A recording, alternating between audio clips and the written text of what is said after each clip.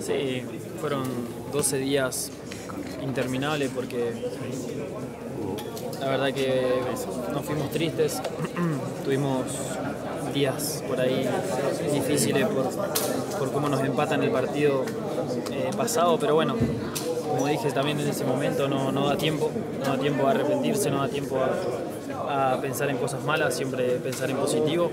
Tuvimos una gran semana de trabajo, grupo se, unificó, sigue firme, sigue junto y hoy quedó reflejado en la cancha de que, de que Corinthians eh, hace rato que ya, ya viró la llave, como dicen acá, y, y estamos por el camino correcto.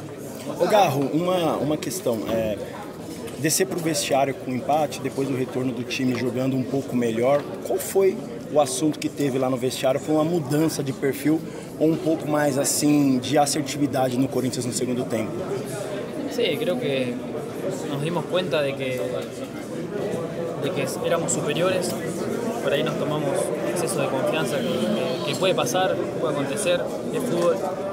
En este momento en el que estamos, eh, siento que tiene que pasar menos porque son partidos que hoy tuvimos la posibilidad, la cualidad de, virar el partido, pero son errores que, no hay que cometer. Eh, ya, ya lo sabemos, somos un equipo maduro, un equipo de muchos jugadores de nombre, entonces no, no tiene que volver a pasar, de ir ganando 2 a 0 y que nos empaten. Pero me quiero quedar con lo positivo que hizo el equipo, que jugó mejor, fue mejor en todo momento, mismo en el 2 a 2 fuimos mejores y, me siento muy feliz por mis compañeros y por cómo dimos una muestra de carácter grande. Aqui, Garro, por favor. o peso das costas, né? A vitória de hoje. É, naturalmente, o resultado vem dentro do campeonato brasileiro. Porque, aparentemente, parece que a equipe sentia nosso campeonato nacional, jogando na Neoquímica Arena, é, ficando no Z4 do campeonato brasileiro. Yo creo que el peso de, de las costas, como, como vos dijiste, a sacar cuando el campeonato termine y Corinthians eh, ya esté completamente fuera de esa zona. Mientras tanto tenemos trabajo por hacer, tenemos partidos por jugar. Hoy dimos un gran paso, pero todavía nos quedan eh, muchos partidos para, para seguir sumando. Siento que, si no me confundo, son ocho partidos más. Eh, tenemos en el medio tenemos Sudamericana, tenemos Copa de Brasil, pero con respecto al Brasilerado, como te digo, esa mochila la vamos a sacar cuando termine y Corinthians esté fuera de esa zona. Mientras tanto, hay que seguir. Aqui, garoto, por favor.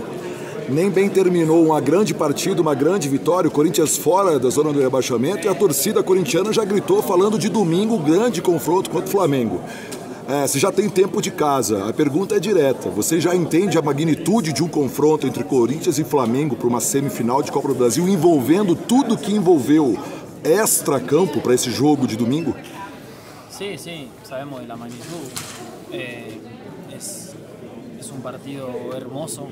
Siento que é um partido em onde é importante para, para o clube. es importante para nosotros como jugadores. Eh, hay muchas cosas más allá de, de, ser una semifinal, hay muchas cosas también fuera de lo extrafutbolístico que, no nos corresponde a nosotros como jugadores. Nosotros tenemos que concentrarnos en lo que pasa dentro del campo, pero, pero sí sabemos de la magnitud, estamos muy enfocados, muy focalizados en lo que tenemos que hacer. Ahora tenemos que descansar, disfrutar de esta victoria que no es poco y bueno, ya después pensar en el domingo.